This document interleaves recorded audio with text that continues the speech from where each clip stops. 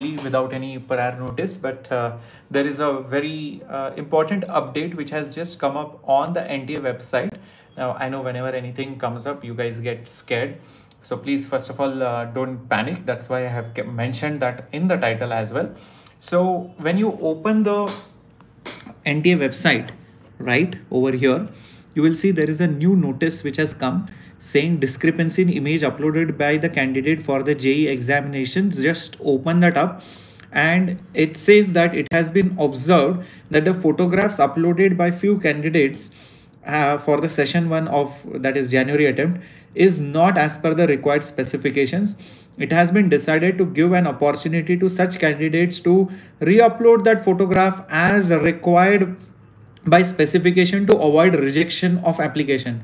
All such candidates uh, will be informed by SMS and email ID, the one which is registered. And you have to log in and upload the new photograph that is only by 17th of January 11:50 pm that is exactly tomorrow. So they're just given one day of time for all of this.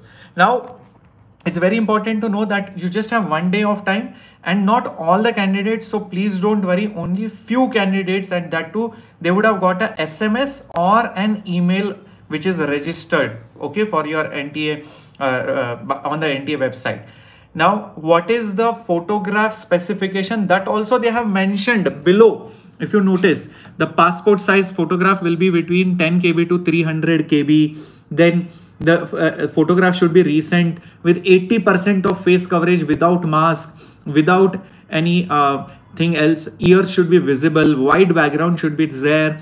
Go to a photo studio. They will do it properly. Photograph should be named as photograph. It should be in jpg jpeg format not in png bmp or any other format. Spectacles are allowed only if you use it regularly all other you know instructions are mentioned right over here. So shoot it as per that. In fact take this uh, instruction sheet take this notice and go to a studio and ask the photographer to shoot it accordingly and upload it. Okay? They will do it properly. Okay? If your background is blue in color and you did not get any sms or email then don't have to worry. Okay? Only those who got emails or sms they will have to worry about it and re-upload it. Also open your nta dashboard the registration dashboard. You might see any notification or any warning. If you see that warning only then act on it. If there is nothing don't panic. Don't worry. Just proceed as usual. Okay? So that was the important urgent update. So otherwise just continue with your studies. Your marathons are going on. Maths physics chemistry and uh, mock tests are lined up sure short questions. Most likely questions. Everything is there. Even the test series is there for just 399 rupees. The link is there in the description box. Do not forget to check it out. Okay? Thank you for sharing. Thank you for liking. Bye bye. Take care. Yeah like the video so that other students also get to know and share this video as well.